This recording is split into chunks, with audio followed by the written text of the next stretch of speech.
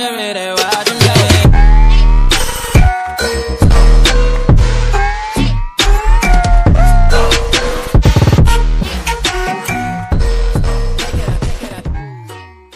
Good morning friends आप सब कैसे हैं? आशा करती सब अच्छे होंगे। तो आज मैं जा रही हूँ तिल और दूध से मिठाई बनाने। अभी ठंडी का मौसम है, देख सकते हैं।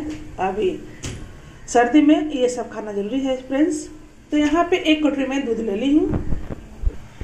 और एक कढ़ाई में डाल दे रहे हैं। डालकर इसको एक उबाल तक जा कर लेते हैं। और फ्रेंड्स, यहाँ पर दूध में उबाल आ गया है और यहाँ पे मिल्क पाउडर लिए हैं। जो बच्चे लोग को दिया जाता है, वही वाला मिल्क पाउडर है। एवरी डे का नहीं है। तो इसको ही इस्तेमाल करें फ्रेंड्स। तो इसको भी डाल दे रहे हैं। और ये मिठाई बिल्कुल आपको गुड़ बना रहे हैं। ताकि गुड़ हेल्दी होता है और शरीर के लिए सही होता है। तो इसको बना रहे हैं साथ में। और देख सकते हैं, यहाँ पे बादाम और नारियल को पीस लिए हैं। इसको भी डाल दे रहे हैं।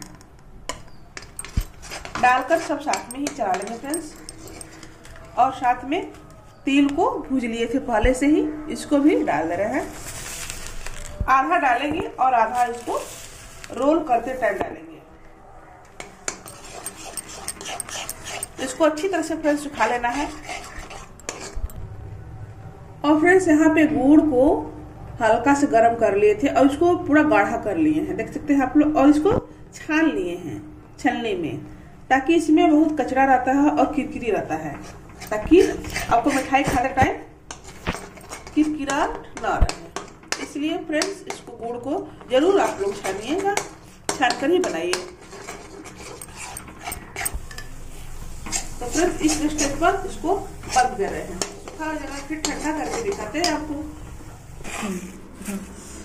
तो फ्रेंड्स, देख सकते हैं, मेरा डो एकदम बिल्कुल तैयार हो गया है। और यहाँ एक प्रोथीन ले लिए हैं।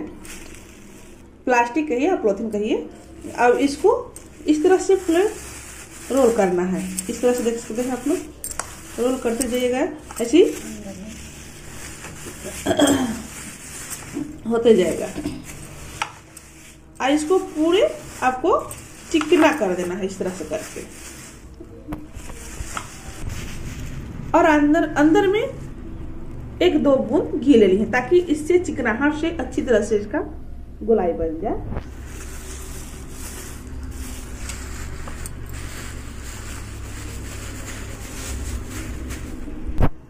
अब इसी स्टेज पे मैं तेल को डाल रही हूँ, देख सकते हैं आप लोग। अब गुड़ में बनाएँगे फ्रेंड्स, और हेल्दी बनेगा और अच्छा रहेगा। गुड़ नहीं है तो चीनी बना सकते हैं। मैं तो यहाँ पे गुड़ में ही बनाई हूँ। और इस तरफ़ से तिल ऊपर से छिड़कते जाइएगा, ताकि अंदर से अच्छी तरह से चारों तरफ़ आपका लिपट जाएगा। देख सकते हैं कितना अच्छा से लिपट रहा है। बिल्कुल इस तरह से फ्रेश करना है। देखिए। और चिकना भी हो गया मेरा डो। बिल्कुल आप जैसा उसे कटिंग कर सकते हैं। देख सकते हैं। और जो भी तिल बचा हुआ लास्ट में, इसको डाल देते हैं।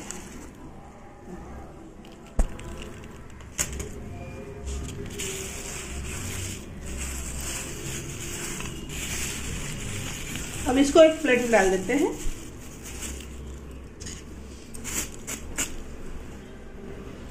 डाल के इसको हल्का सा हाथ से इस तरह से, ठीक है? और इसको, और फ्रेंड्स इसको कट कर कट कर दे रहे हैं।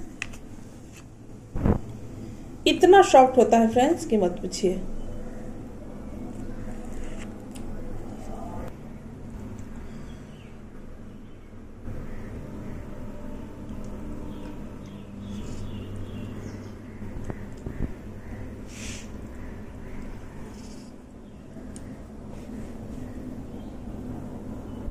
तो फ्रेंड्स देख सकते हैं, बिल्कुल आसानी से न खोवा लगना है, ना मेवा लगना है आपको, मावा लगना है तो आसानी तरीके से मिठाई बन के तैयार है फ्रेंड्स। वो भी बिल्कुल सर्दियों में ठंडा के लिए, वो भी गुड़ से हेल्दी तो फ्रेंड्स ज़रूर आप लोग भी बनाइएगा और लाइक शेयर कमेंट सब्सक्राइब करते रहिएगा। तब तक के लिए बाय